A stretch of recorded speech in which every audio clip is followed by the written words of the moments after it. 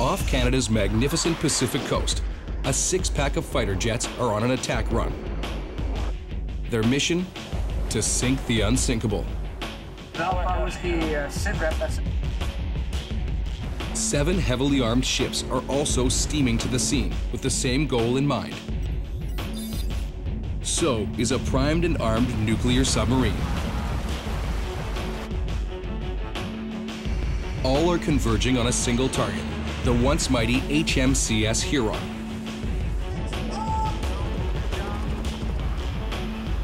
It's all part of a live military strike exercise where everyone wants bragging rights as the team who sinks the destroyer.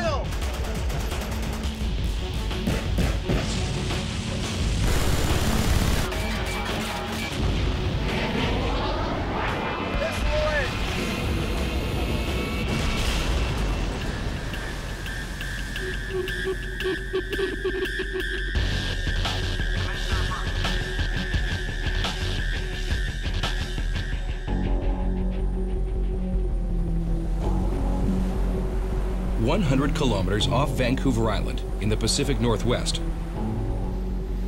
Over 40 aircraft and eight warships from the US and Canada have gathered for a live attack on a Navy vessel.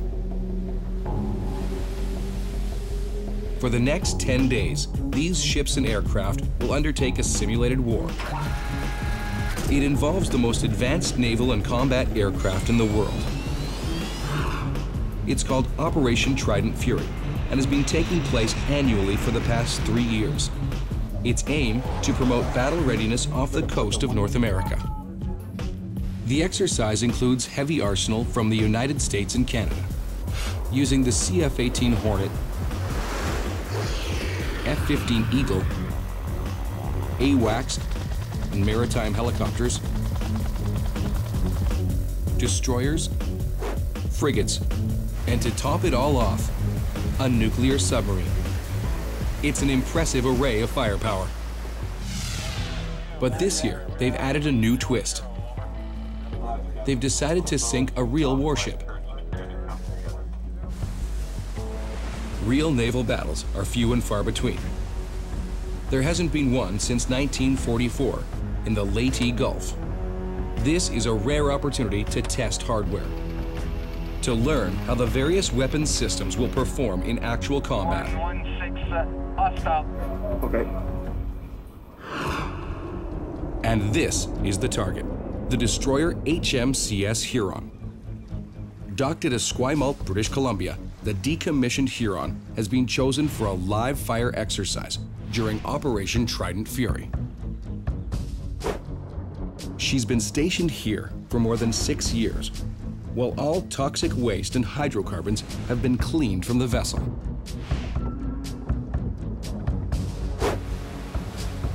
It's a unique project, and fierce competition has broken out amongst the teams to be the first to sink it. It's not confined to the naval tacticians. The Air Force has entered the game, upping the ante. If you think about the combat power and capability of 30 F-18s, either in an air-to-air role or air-to-ground, all carrying bombs and missiles, uh, we figure we got the most effective combat force. Of course, the Navy tends to think uh, they do with their uh, destroyers and frigates. The Air Force will be up there with a lot of their expensive assets and, and taking shots at it, but when it comes down to it, we're going to be firing 76 millimeter rounds into the ship, and they're going to be dropping 20 millimeter bullets on it, and somebody's going to take it down. It'll be us. It's like we're all grown-ups, but uh, we all like a little bit of competition uh, goes a long way, especially for morale. I can say this, that uh, they're definitely not going to sink it before we do. The goal, to sink the destroyer using live fire. But it's not as easy as firing some missiles into her. Warships are designed to stay afloat under extraordinary circumstances. So combat teams will have to figure out the best way to attack Huron.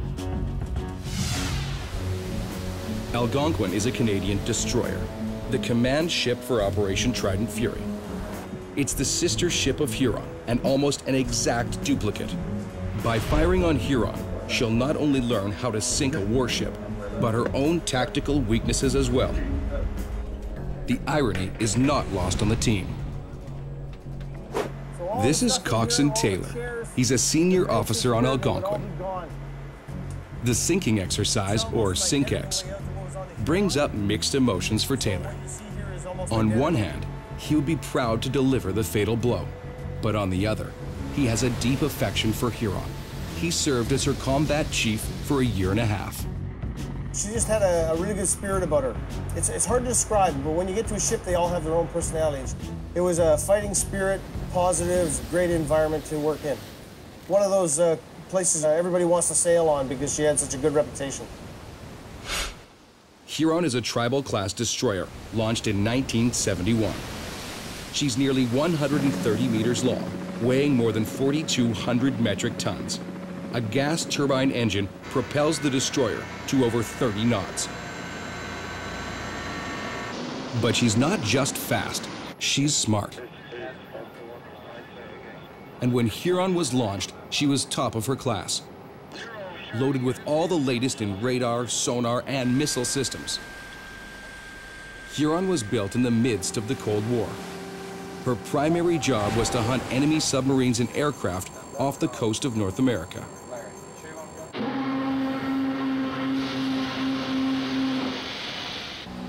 In her prime, she utilized the Sea Sparrow launch system. The Sea Sparrow missiles were originally developed as an air-to-air -air system, so versatile it could defend from any direction.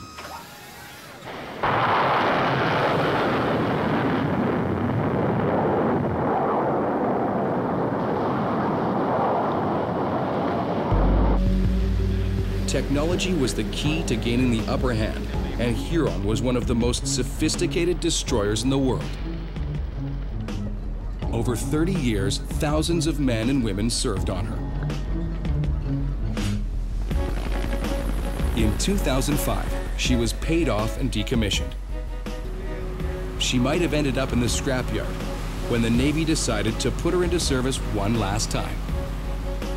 Well, you know, it's kind of a mixed feeling. Uh, you, you, look across the harbor and you see the ship that you used to sail on rusting away and, uh, you know, just looking worse and worse every day. And that's never a good feeling when you've served on a, on a ship that had so much pride.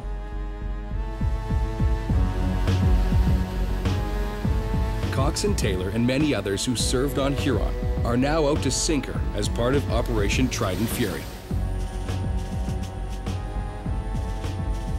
thinking about sinking her was kind of difficult when I first thought about it, but then I started to, to reflect on what would a warship, uh, you know, if it had its own choice, what would it want? And I think it would want to go down in one last gunfight. So in a final act of service, Huron will provide training to a new generation of sailors and ships. Nowadays, the military relies heavily on computer simulations but nothing can replace a live exercise to test the effectiveness of weapons and the survivability of a warship. Such information will lead to future ship design and weapons development.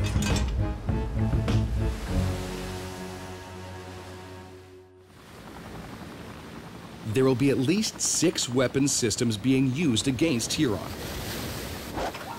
The 57 millimeter cannon, capable of firing 200 rounds per minute. Captain. You sure you got the target? Affirmative, sir. We are locked on. Roger. Number 15. Number 15. And the 76 millimeter cannon, firing 120 rounds per minute.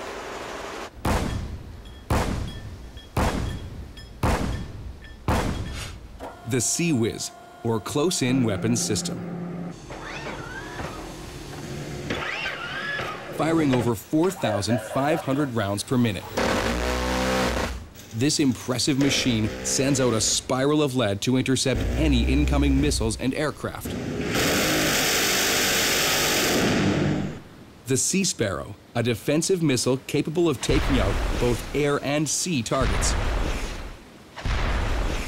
It's almost as long as a car and moves at more than three times the speed of sound to meet incoming threats. The CF-18 fighter jet, which is equipped with laser-guided bombs and a Gatling gun, that can discharge over 100 bullets a second.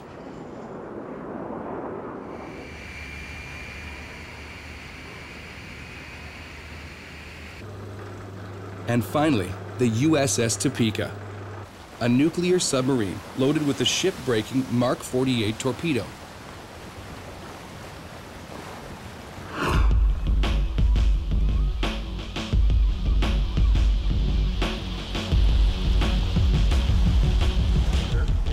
Still on shore, a crew is rehearsing.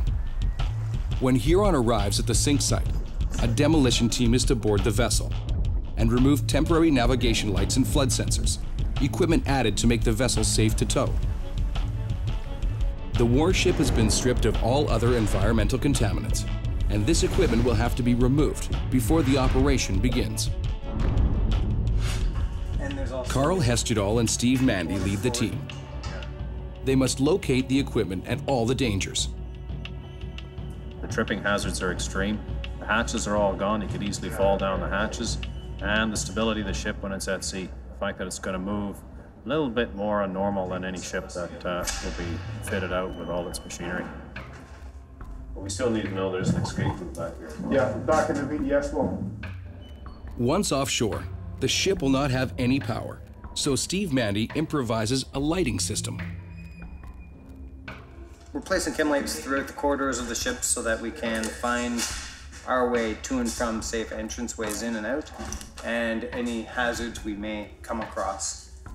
So when we when we board the ship, as we make our way in, we'll activate them, and that way we can find our way out. It is easy to get lost in the maze of passages, rooms, and stairs. And this poses a truly frightening scenario for the demolition team. If there's an emergency, or the ship starts to sink prematurely, they need to get out fast. In its current state, Huron is a floating hazard. The integrity of the vessel has been compromised by welding doors and hatches open. It has not been out to sea in years. No one knows how it will react. It will be critical for everyone to know exactly where they are and the quickest way out. Carl doesn't like what he sees. The team's safety is in his hands. No, we're not coming back here. There's no way. If we come back here, we're being silly. This is good. This, I don't want anyone going back anyway back. If we have to go to Tiller Flats, unless we're escaping, we're going through the upper deck. There's no way we need to be going through here. This is too far forward. Right here. What makes their job difficult is the hundreds of rooms that make up the interior of this warship. At 129 meters and weighing more than 4,200 tons, it was built strong to survive hunting submarines in the stormy North Atlantic. Strength came from having individual watertight compartments, and a series of bulkheads across the beam provided the ability to isolate sections flooded during a breach. All this is to protect the nerve center of the warship, the operations control room. From here, the exterior mounted radar and weapons systems are controlled. Surface to air missiles, a 76 millimeter gun, Mark 46 torpedoes, and a Phalanx 20 millimeter Sea Whiz, making this warship a formidable foe. One of the most important pieces of equipment to keep the warship action ready is the Sea King helicopter. As aerial eyes and ears, the Sea King extends the warship's range beyond the horizon, hunting for threats in the surface and subsurface realms. It has a crew of four two pilots, a tactical coordinator, and one airborne electronic sensor operator who runs the submarine hunting equipment. Like fixed wing aircraft, these helicopters can pick up fuel while on the move.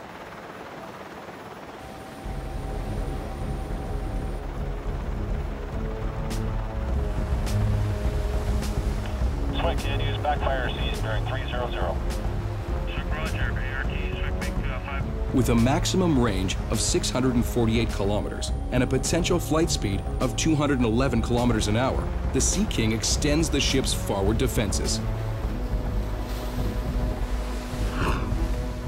If you were a betting man, one of the favored ships in the competition would have to be HMCS Regina.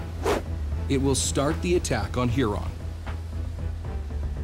The, uh, The responsibility for the success or failure of the operations falls on Captain Couture's shoulders. Get slow down. Let's do it right and let's do it quick. Okay, get on with it. Captain Couture is looking forward to the opportunity to test his team and provide them with realistic combat experience. You guys got an ESOP know about that. Officer Watch, come up to 26 knots and commence our approach. Roger, coming up to 26 knots and uh, course of 115. To prepare for the real thing, they tune up their weapon systems. Break Captain Sir. I have a clear range at a bearing of 095, permission to carry a firing run. Carry on to firing run. Yep. Over, Roger.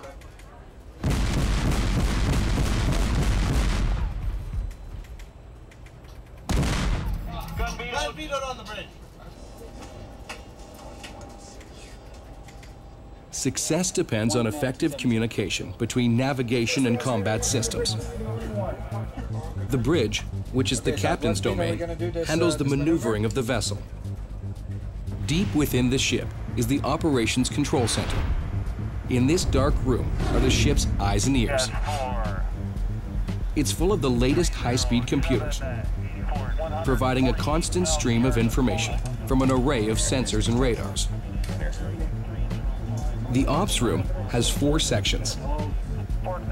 The front rows are the combat information operators. They fine-tune radar readouts and talk to other ships on secure channels. On the port side are electronic warfare operations. They fire guns and missiles.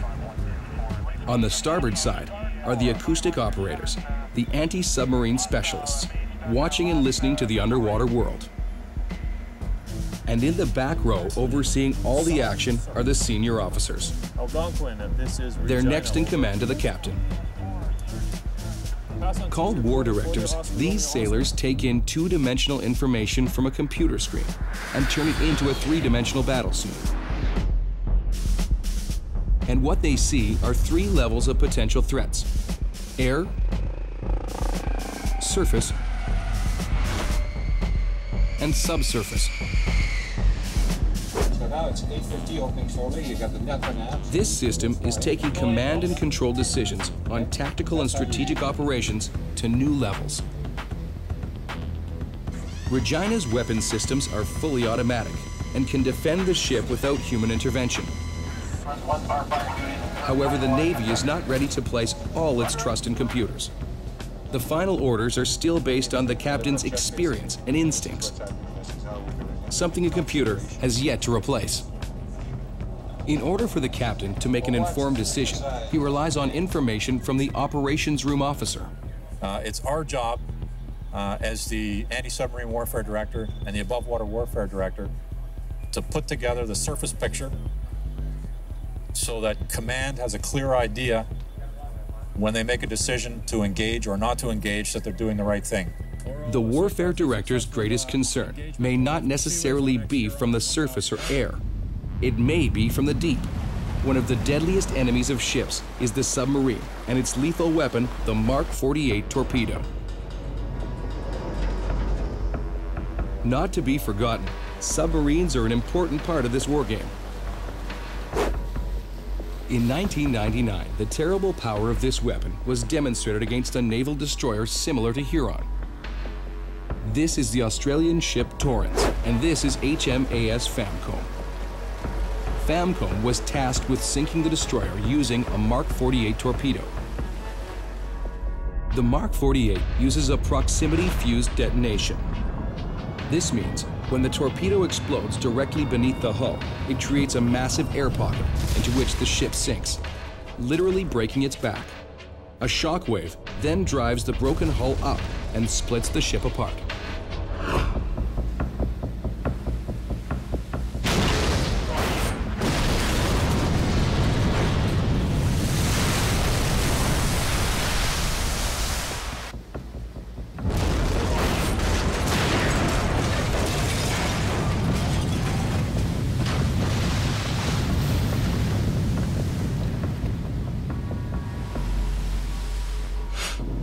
It's like a giant has ripped the ship in two.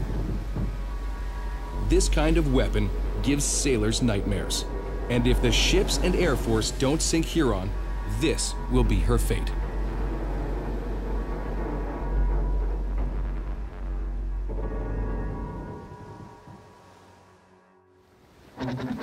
In the lead up to the SINKEX, testing of weapons begins as soon as possible to ensure that everything is working properly. On Regina, crew members put on protective gear, anti-flashguard wear, as well as a flak jacket in case of shrapnel. They're preparing to launch Sea Sparrow's surface-to-air missiles.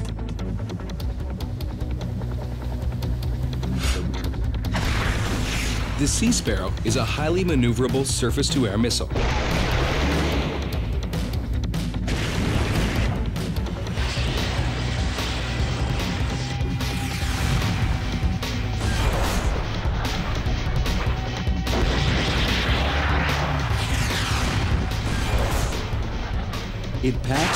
Wicked punch and can blow enemy aircraft out of the air.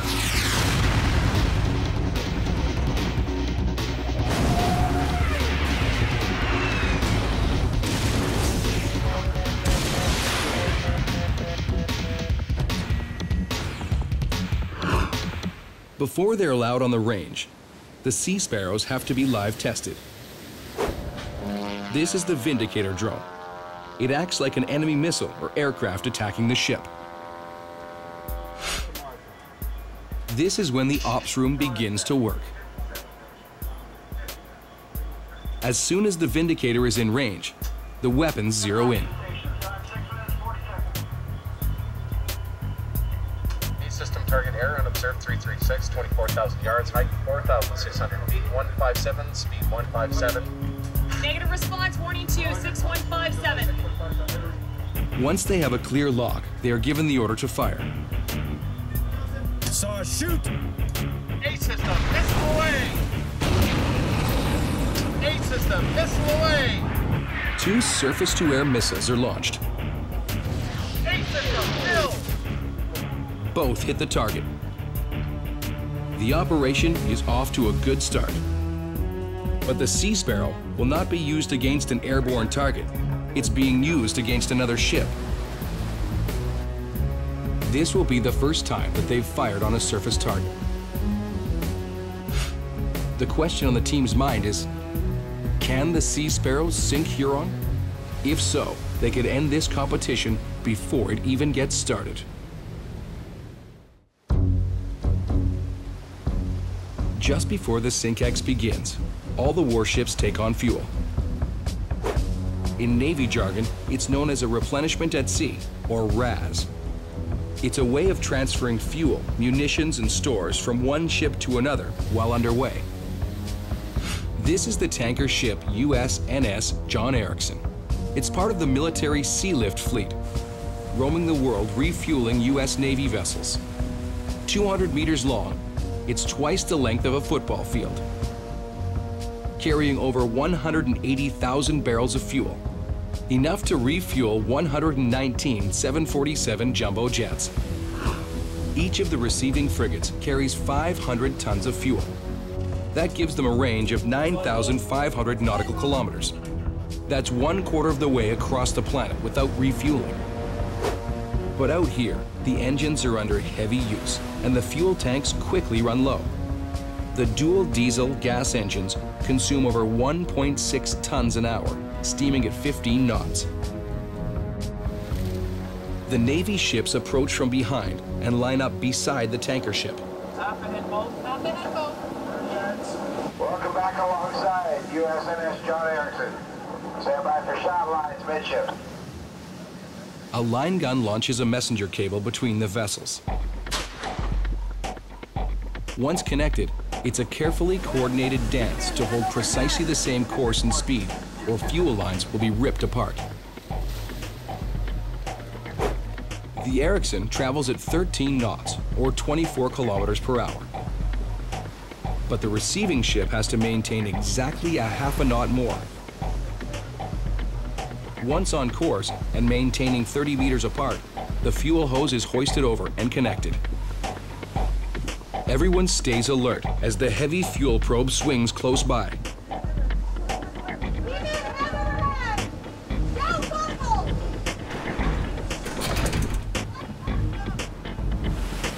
If the ships were to quickly part, this device is meant to break away. But the explosive parting could injure, even kill, anyone near it.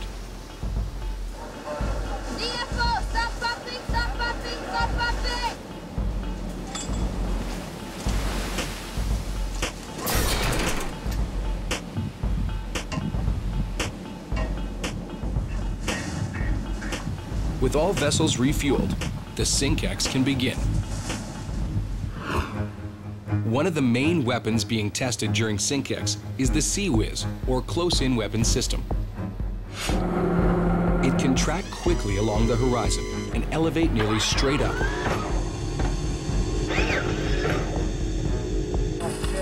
Give them an approximate. There was like 830. The six barrels provide a very high rate of fire, about 75 rounds per second.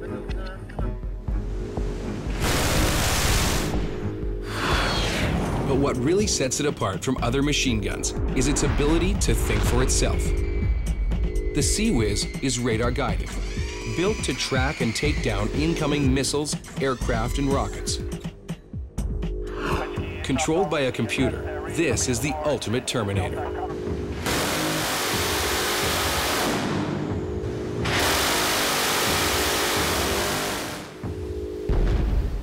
A column of lead travels to intercept the missile, and like a steel shredder, tears it apart.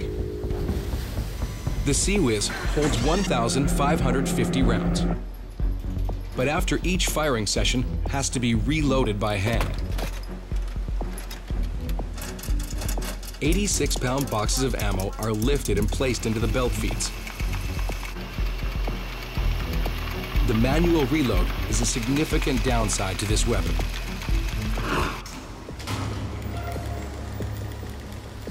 It's dawn of the big day. The Navy and Air Force have an ambitious schedule of weapons testing to get underway.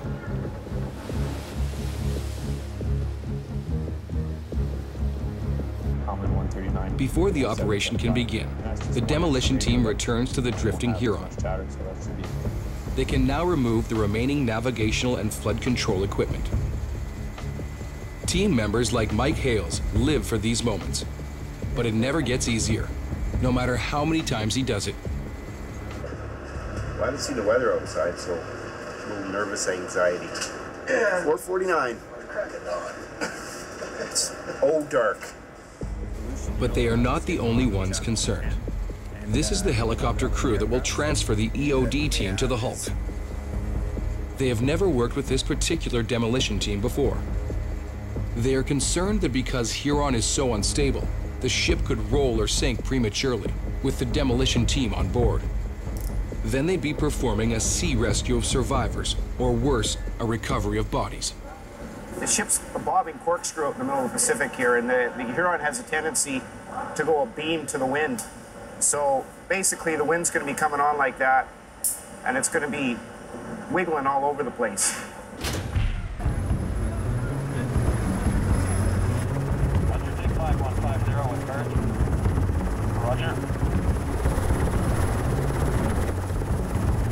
ORO, uh, you copy? Take 5142, 5150 with. Swick copy, the firm uh, 5142. At last, airborne. Instructions are given in case of a crash landing.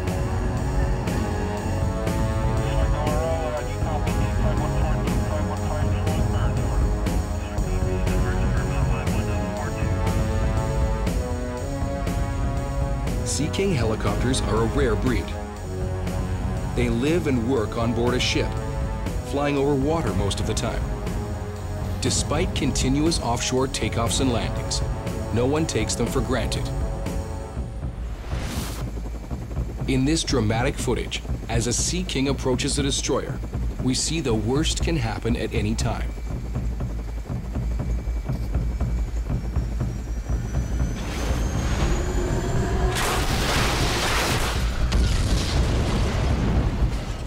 The team can't let fear overcome them, or they will compromise the mission. Once the helicopter drops them on the deck, they're completely on their own.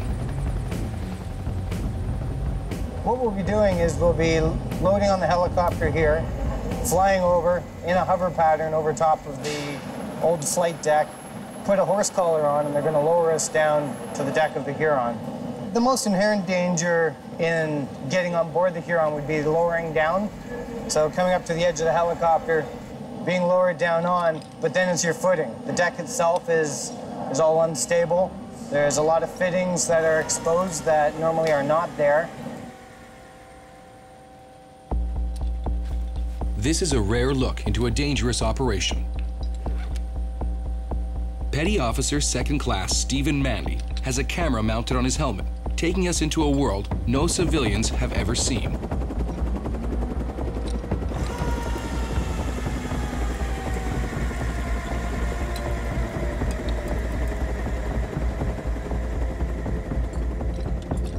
The lessons he learned while Huron was dockside will be put to the test. The plans have to be executed perfectly and according to a rigid schedule. The EOD team has two boxes to remove from Huron. Steve and Chris head to the stern to retrieve the flood sensors and temporary navigation beacons. The rest of the team heads to the bow. Circling overhead, the helicopter stands by to lift off the box of gear.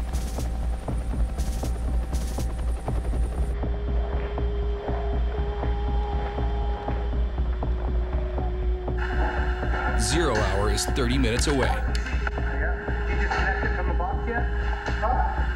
It from the box yet?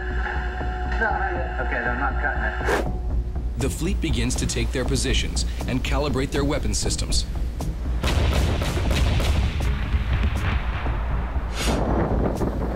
Back on Huron, Steve disconnects the power from the flood sensors. The batteries that operate them contain toxins that are harmful to the environment and have to be removed.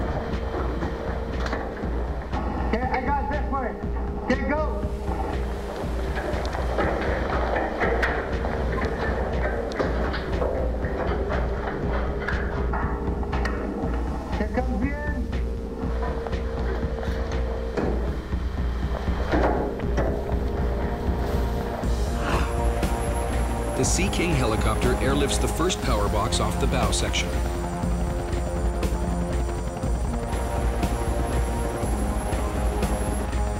Three operation, air ready.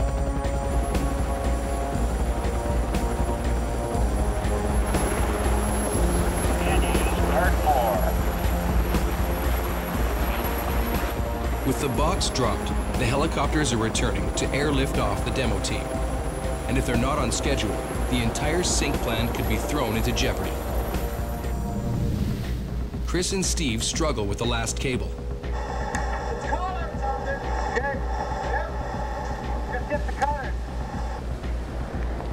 Time is melting away.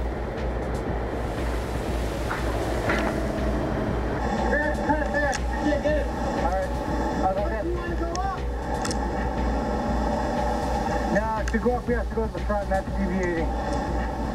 With the fleet standing by, they can't afford to waste any more time with the cable. They cut it. It's time to leave Huron.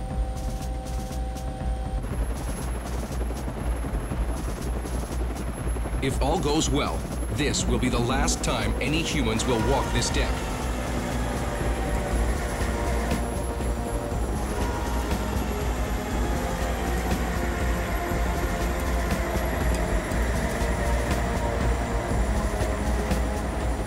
Exciting. It's actually uh, nice to be able to go on a ship and do a job and actually see a ship go down to the bottom. It's, it's really a, a good feeling. It is. It's a high adrenaline rush. I love doing this. The demolition team heads back to base. Now, the battle can begin.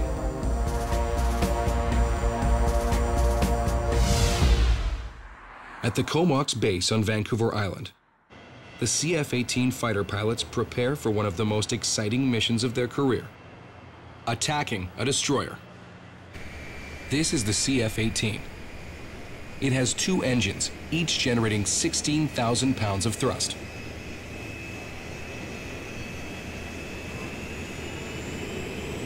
Moving at Mach 1.8, it's equipped with a lethal array of weapons that can take down just about anything. John Waugh, known as Streak, will take the point for the Air Force attack against Huron. It's really exciting. We live bullets, live bombs, things are going to explode. It's uh, it's what we it's what we uh, work for. It's what we train to. So this is you know most exciting day of the mission of the whole exercise for us right here. So it's uh, going out and sink a ship. The most impressive part of the CF-18 is the Vulcan M61 Gatling gun. It's a low-tech but powerful machine gun for close-in air-to-air dogfighting. This six-barreled machine gun can fire up to 100 rounds per second. More than 570 rounds are held within the ammunition handling system. That's less than 10 seconds of fire time during a mission. The entire unit is compact enough to be mounted into the airframe of the CF-18.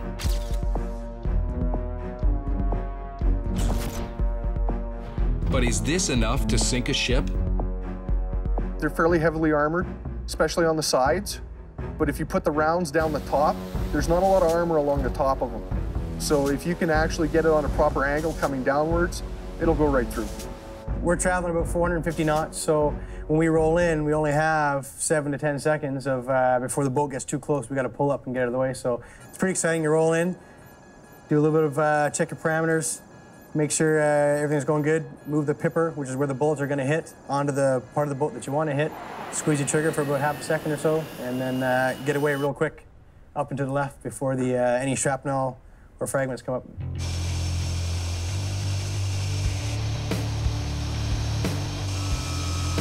As the action picks up on the water, the jet fighters get ready to roll.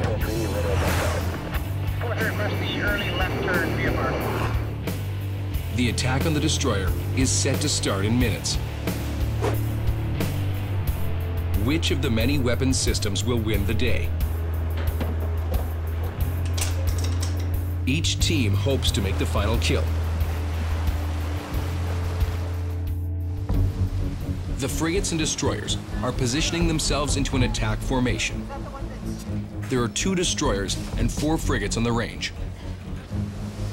This may be the most powerful naval arsenal gathered on the seven seas. It's zero hour, and Huron is now free drifting, and the fleet is in position.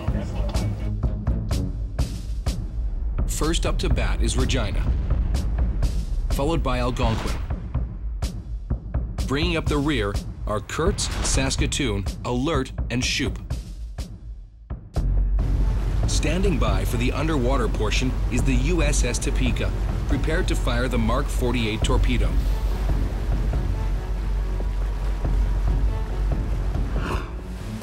Aboard Regina, the weapons crew are doing last-minute repairs.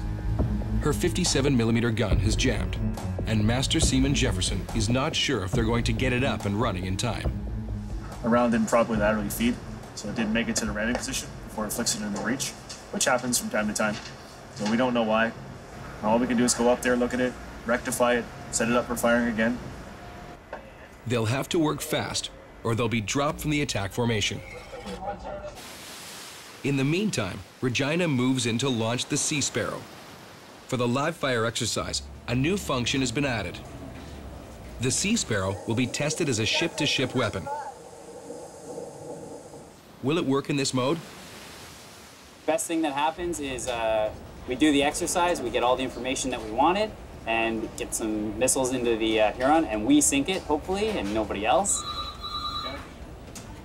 All positions uh, switched. We are going to carry on with the uh, a SAS engagement uh, against uh, ex-Huron, and now bearing 297, 15,000 yards.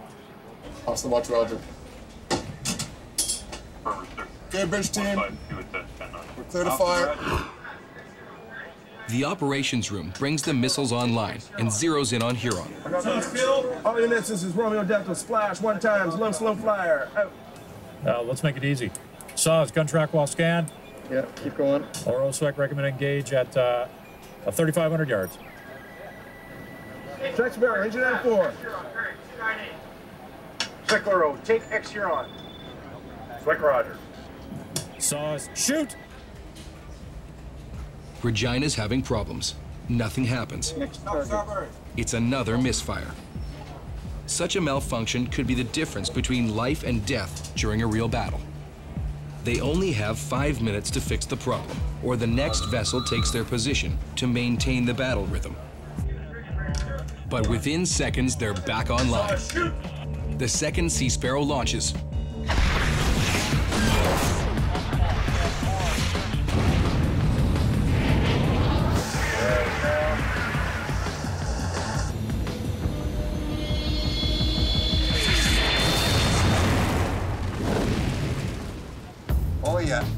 Missile. Interesting enough, uh, where the missile impacted would have gone right into the missile deck of the ship. If uh, she had been loaded with missiles, it would have been a mess. The warhead has impacted into Huron's missile silos, located right below and in front of the bridge.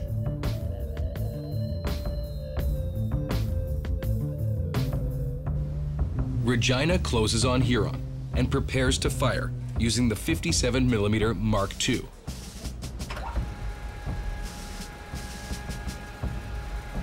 It's a lightweight cannon with a special servo system that keeps the gun locked on to a moving target, compensating for the movement of the ship, reducing aiming errors. Computer controlled from the operations room, using radar and infrared imaging. But has the crew been able to fix the loading mechanism? Range? Range 1,870 yards, sir. That's as good as it's gonna get.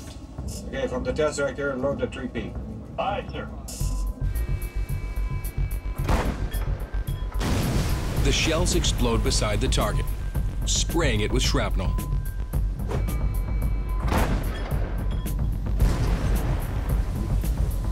These explosions would have been enough to cause human casualties on board Huron.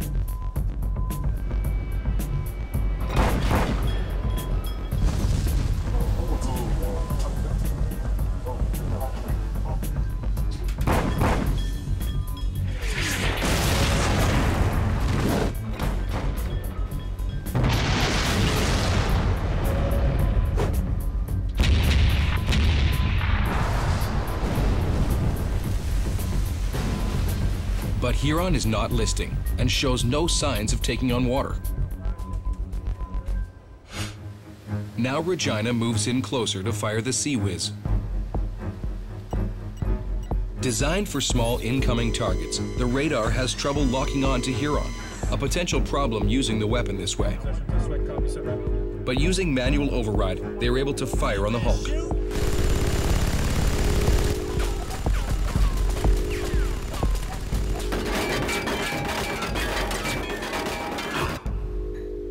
Regina has done significant damage, but has not delivered the fatal shot. The rest of the fleet moves in. Each will try to deliver the death blow.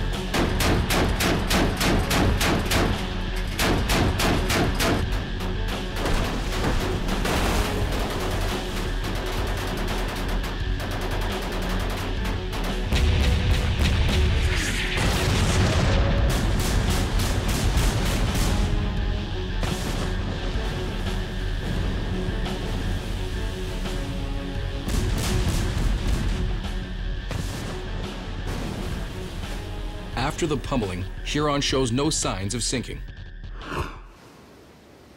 Algonquin moves in. Some of the crew are a little uneasy about participating in the attack. The gun that's on the Algonquin right now, the 76 on the front, used to be the gun that was on the Huron. So some of the guys said uh, they don't want to put any uh, ammo into the Huron with their 76 because that's her old gun and it's bad, bad karma. It wouldn't be good luck. Mixed feelings aside, the crew opens up the 76.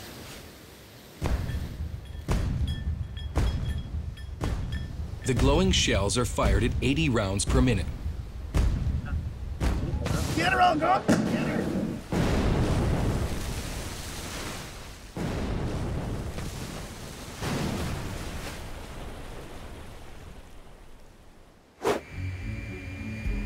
The CF-18s are in the air. Before they make their run on Huron, they're going to take on fuel. The pilots don't want to miss out on their chance to sink the ship. Meanwhile, Algonquin is seeing the results of its attack.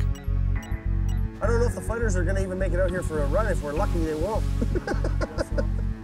The old crew of Huron has gathered on the deck of Algonquin. As they watch, Huron's own gun finds its mark. It's a major blow. Huron starts to list. This could be the end. Well, we just did a, another firing run with the 76 mil, and uh, the Huron is actually heeling over to uh, starboard. You can see most of her flight deck and, uh, and hangar top from here, which means she's taking on a lot of water. The CF-18 fighter jets scramble for a strafing run. Oh, this is uh, Bravo 43. We are Charlie Charging. Using the high-powered forward-looking infrared, Streak doesn't like what he sees. Got a heavy lift or it's been hit already. Yeah. Huron is sinking, but the jets still have time to attack.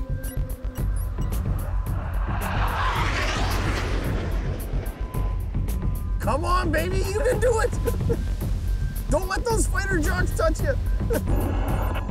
They begin their plunge from about 2,000 meters, straight down.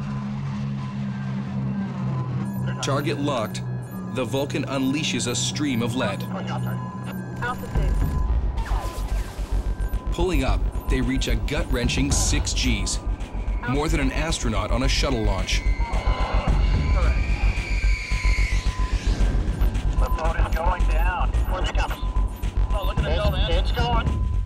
The CF-18s attempt one last pass before Huron disappears. Well, if you climb up and hide, I'm gonna come here for one more shot. Copy. I'm clear about five blind. Going hot if you're in position or not. Streak opens fire. Altitude. Altitude. Crossbow 4-3. Oh! Hold her down. Use your percent speed. Get going down. But it's too late. The Navy has already won the day. It's a spectacular end to a veteran warship. Huron sinks before the submarine can break her back with a Mark 48 torpedo. The rivalry is over, and it's time to pay their respects. See the Kirk, she's got her battle ensign flying. Like they're honoring the Huron.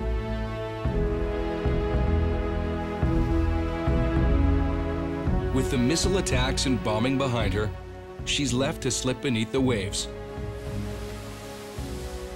Taylor calls for silence to honor the ship that served her country for 30 years. Stand still!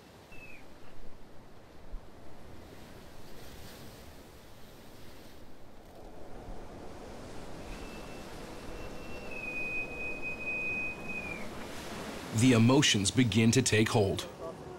Well, a little bit mixed.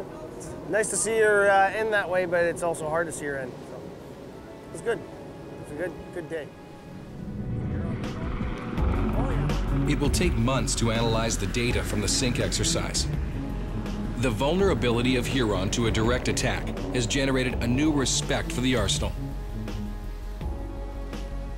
It took us a little back, certainly, a moment that will be captured in our memories for a long time. The clear winners are the warships and their crews who sank Huron.